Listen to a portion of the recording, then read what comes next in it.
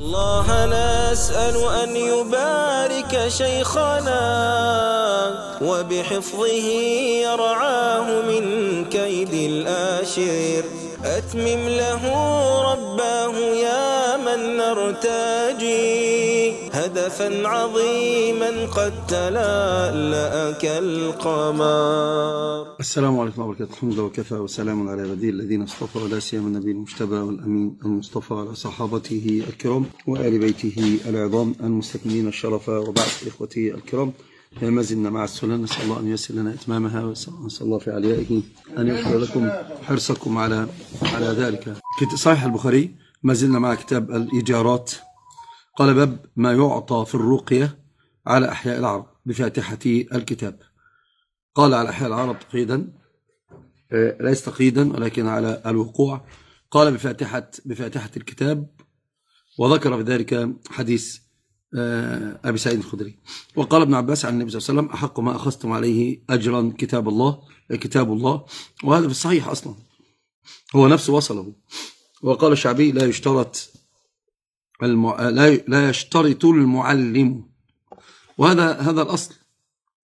لأنها ليست متاجرة. ولا يشترط المعلم إلا أن يعطى عليكم السلام وبركاته شيئا ف... ف... فليقبله فليقبله. وقال الحكم لم أسمع أحدا كره أجر المعلم وأعطى الحسن دراهم عشرة ولم ير ابن سيرين بأجر القسام بأسا. وقال كان يقال السحت الرشوة في الحكم وكانوا يعطون على الخرص.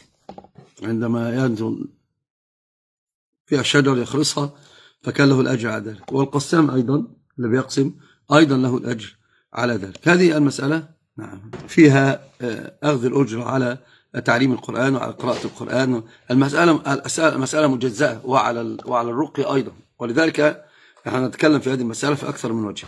الوجه الأول الم- الم- المعلقات. يعني أولا كلام حتى تعليق ابن عباس يأتي مسندا في نفس الكتاب. عليك السلام عليكم معاذ أحسن الله عليك يأتي مسندا في نفس الكتاب وهو حجة على الحنفية وعلى وعلى الزهري وعلى ابن إسحاق الذين قالوا بحرمة أخذ الأجرة على تعليم القرآن. فقد قال النبي صلى الله عليه وسلم أحق ما أخذتم عليه أجرا. كتاب, كتاب الله. وهذا سنبين وجهته لأن هذه المسألة فيها أقوال ثلاثة. يعني المسألة ليست على على قول وقول. وبعض العلماء حتى يقول بأن كلام ابن عباس ليس حجة للجمهور بل هو منسوخ. بعض الحنفية يقول منسوخ بحديث آه، قتادة أنه قال تريد أن يصور آه، آه، يقوسك الله بقوس بقوس من نار.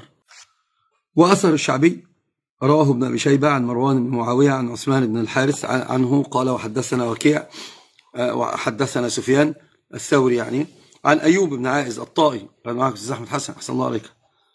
عن ابن عائز الطائي عنه به وأثر الحكم رواه الشعبي قال قال لا يشترط المعلم. وأثر الحكم أثر الحكم رواه ابن أبي شيبة. حدثنا يزيد بن هارون عن أنبأنا شعبة عنه به وأثر الحسن قال ابن أبي شيبة. حدثنا حفص. نعم الأخت عائشة عمر ماتت. نسأل الله أن يسكنها بسيح جنات. شوف شوف إذا أراد الله عبدا بعبد خيرا.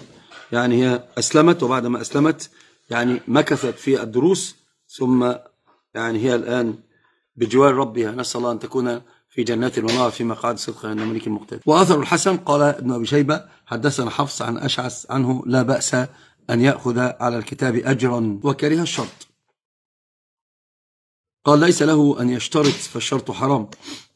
كما قلت لتوقير وتعظيم الكتاب نعم. وأثر ابن سيرين قال أيضا حدثنا وكيع وفي مصطفى ابن أبي شيبة قال حدثنا وكيع حدثنا همام عن قتادة عن يزيد الرشك عن أو رشك عن القاسم قال قلت لابن المسيب ما ترى في كسب القسام فكرهه قلت إني أعمل فيه حتى يعرق جبيني فلم يرخص لي. قال قتادة وكان الحسن يكره كسبه. قال قال قتادة وقال ابن سيرين لم يكن خبيثا فلا أدري ما هو. تعلمون القسمة لما يقسم وله ميزان فبياخذ أجر على ذلك. وحديث أبي سعيد الخدري هنا حديث أبي سعيد ال- الخدري هو قال المصنف حدثنا أبو النعمان حدثنا أبو عوان عن أبي, عن أبي بش عن أبي المتوكل عن أبي سعيد الخدري رضي الله عنه وأرضاه قال انطلق نفر من أصحاب النبي صلى الله عليه وسلم في سفرة سافروها حتى نزلوا على حي من أحياء العرب فاستضافوهم فأبوا أن يضيفوهم. نعم أن يضيفوهم. فلدغ سيد ذلك الحي فسعوا. لكل له بكل شيء. لا ينفعه شيء. فقال بعضهم لو أتيتم هؤلاء الرهط الذين نزلوا لعله أن يكون عند بعضهم شيء فأتوهم. فقالوا يا أيها الرهط إن سيدنا لدغ وسعينا له بكل شيء. لا ينفعه فهل عندك أو عند أحد منكم من شيء؟ فقال بعضهم نعم والله إني لأرقي ولكن والله لقد استضفناكم فلم تضيفونا فما أنا براق لكم حتى تجعلوا لنا جعلا. فصالحوهم على قطيع من الغنم فانطلق يدفل, يدفل عليه ويقرأ الحمد لله رب العالمين. فكأنما نشط من عقال فانطلق يمشي وما به قلبة. قال فأوفوهم وجعلهم الذي صالحوهم عليه. فقال بعضهم أقسموا. فقال الذي رقى لا تفعلوا حتى نأتي النبي صلى الله عليه وسلم. فنذكر له الذي كان فننظر ما يأمرنا. فقدموا على رسول الله صلى الله عليه وسلم فذكروا ذلك له. قال وما يدريك وما يدريك أنها رقية. ثم قال قد أصبتم أقسموا واضربوا لي, لي معكم بسهم.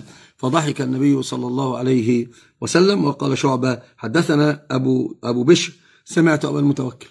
فهنا عندنا المسائل كما قلنا فيها التعليقات. أمين. اللهم أمين. اللهم أمين. اللهم أمين. اللهم أمين. هذه المعلقات وأما قصة القصة لأبي سعيد الخدري نزلوا على أقوام أضياف والضيافة واجبة. الضيافة واجبة.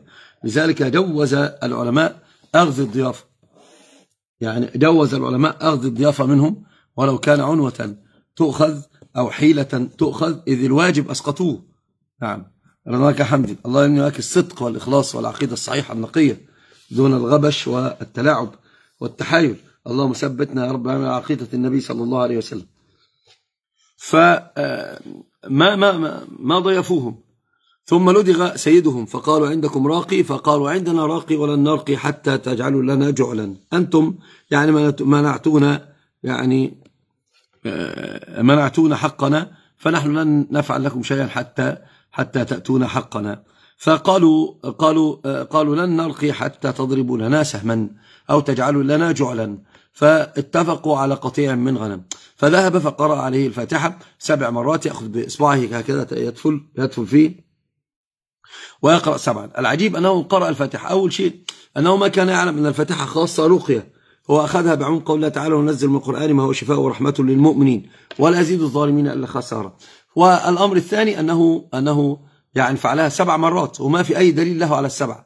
هنا يأتي هذا الباب على على على على أن المسألة تكون على المسألة تكون على التجريب والتجريب هنا الشرع لا يأبى.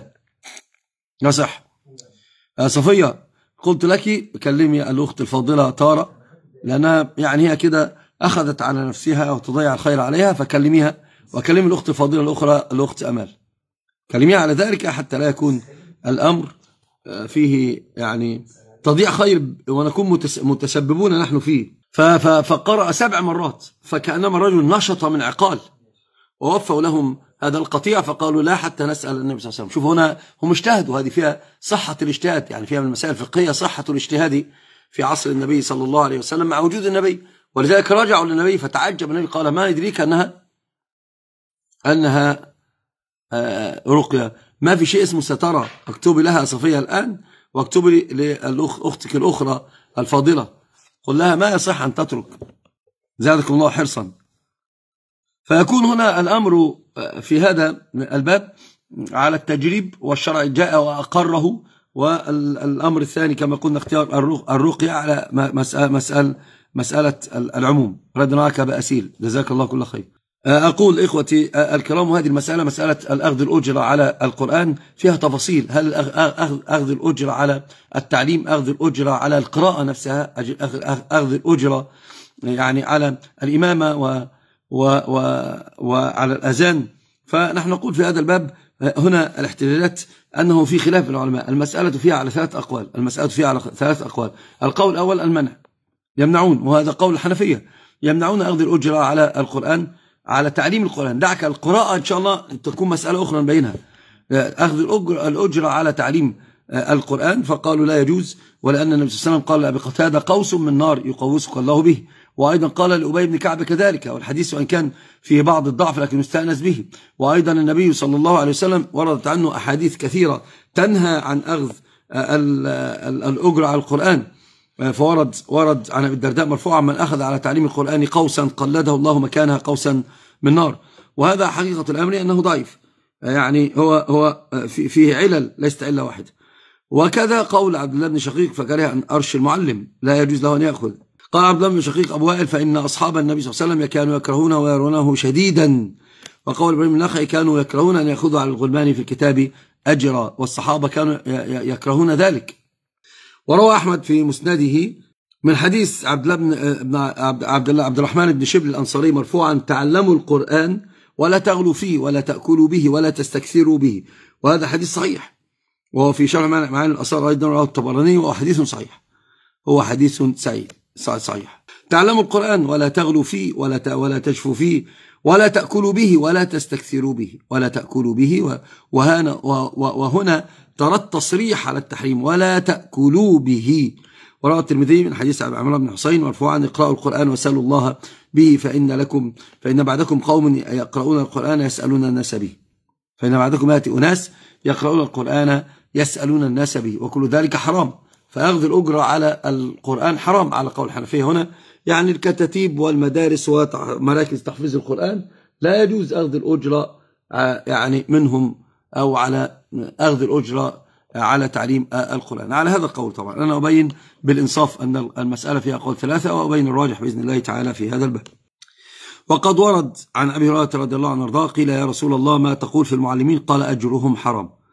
وهذا حديث يعني فيه جهالة وإسناده فيه آه، أبو المهز المهذم وهو ضعيف متروك. فالحديث ضعيف. بل قل هو إلى الوضع أكثر منه من الضعف. والجوزقاني قال حديث أنس أجل المعلم والمؤذن والإمام حرام موضوع لم يصح. نعم والأخت داليا كلموها المسألة ما في عندي أي شيء في هذا الباب. الذين يتخذونه مهنة سأبين حالهم. لا يجوز أخذ القول الثاني في آه، القرآن هو قول آه، الجمهور المالكية والشافعية والحنابلة قالوا بجواز أخذ الأجرة على تعليم آه، القرآن وهؤلاء استدلوا بأدلة كثيرة تدل على الجواز. قول النبي صلى الله عليه وسلم أن أحق ما أخصم عليه أجر هو كتاب الله ها؟ فقال أحق ما أخذتم عليه أجر كتاب الله. وأيضا لقول النبي صلى الله عليه وسلم بأبي هو وأمي قال قال كل فلعمري لمن أكل برقية حق برقية باطل فلقد أكلت برقية حق. كل فلعمري لمن لمن أكل برقية باطل فلقد أكلت برقية حق. وهنا أيضا عندما قال لأبي سعيد الخدري وما أدريك بأنها رقية اضربوا لي معكم اضربوا لي معكم آه، بسهم. فقالوا هذه كلها أدلة تدل على الجواز وقالوا بأحاديث أبي قتادة وأبي هذه أحاديث ضعيفة. وحملوا الأحاديث إن صحت أن تكون على خلاف الأولى. القول الوسط بين القولين وهو أنه يجوز أخذ يعني ال ال ال الأجرة على التعليم متأخرون الحنفية. طبعا قالوا بذلك. إذا كان ارتزاقا ارتزاقا من بيت مال المسلمين. دون الشرط والحسن قال له أن يأخذ دون دون أن يشترط. الحسن قال له أن يأخذ دون أن يشترط. لا سيما أن هذا هذا لنشر دين الله جل الأكل بالدعوة صعيب جدا على الناس. فهذا لنشر دين الله جل في علاه وأنه واجب التعليم فالواجب لا يأخذ عليه أجر كالإمامة والأذان وغير ذلك. الأخذ الأجرة على العبادة لا تجوز بحال من الأحوال إلا إذا جاءت المستثنيات من أدلة الكتاب و السنة فحقيقة الأمر أن بيت المال المسلمين يعني يكون فيه المال على مصلحة المسلمين وأعظم مصالح المسلمين. نشر آه، العلم في الكتاب والسنة وتعليم الكتاب والسنة. هذا الأصل في هذا في هذا الباب. فقالوا إذا إذا كان الأمر اتزاقا أو الأمر إذا أعطي من غير اشتراط جاز. وهذا الذي أدين الله به وهو الصحيح بأنه لا يجوز الاشتراط وله أن يأخذ من ولو أخذ يكون على على على الوقت. لا يشترط. والآن نحن في زمان انقلبت به الأحوال. كما قلت أنه بيأخذ الآلاف المؤلفة على الإجازة والآلاف المؤلفة على التعليم واشتراط الأجر وغير ذلك وكل هذا فيه ما فيه من فإذا هذا القول الصحيح. القول الوسط هو القول الصحيح. القول الوسط هو القول الصحيح وأنه لا يجوز الاشتراط على أخذ المال ولا يجوز التقاول على تعليم كتاب الله جل في علاه ولا يجوز يعني الاشتراط على الإجازات وغير الإجازات. كل ذلك حرام. حتى بيع المصحف يعني فرع على ذلك. قال بعض العلماء من ابن عمر وغيره أنه لا يجوز. فلا يكون متكسب على كتاب الله قال ولا تأكلوا به. قال عن كتاب الله ولا تأكلوا به. فالأمر في ذلك فيه فيه نظر كبير. الفوائد المستنبطة في البخاري إحنا قلنا رجحنا في مسألة الأقوال الثلاثة أن, أن, أن الراجح في ذلك أخذ الأجرة بدون اشتراط. أخذ الأجرة على التعليم بدون اشتراط. يبقى لنا أن الضيافة واجبة ويبقى لنا أيضا أن مسألة التجريب إن كانت تقع تحت أصل عام يجوز. زي قراءة آيات السحر على ورق ورق السدر سبع سبع مرات. يجوز. يجوز ما دام ما دام قد ظهر أثره. فالتجريب هنا طالما طالما ينزل تحت أثر عام يجوز. نعم. الفوائد المستنبطة. الضيافة واجبة. القرآن كله شفاء. يعني يجوز الرقية بكل القرآن. العبادات لا أجر فيها إلا في الآخرة. وان وإن وجدت الهبة جاز ذلك. وإن وجدت الهبة جاز ذلك. ولشيخنا همة علت الثريا فنالت من فنون الدين ريا. ولشيخنا همة علت الثريا فنالت من فنون الدين ريا. فذافق كسقي الماء كانا وتلك عقيدة السلف النقيا وتلك عقيدة السلف النقيا فأخلص نية ربي وبارك على شيخ نبيل الخلق والضاح المحيا.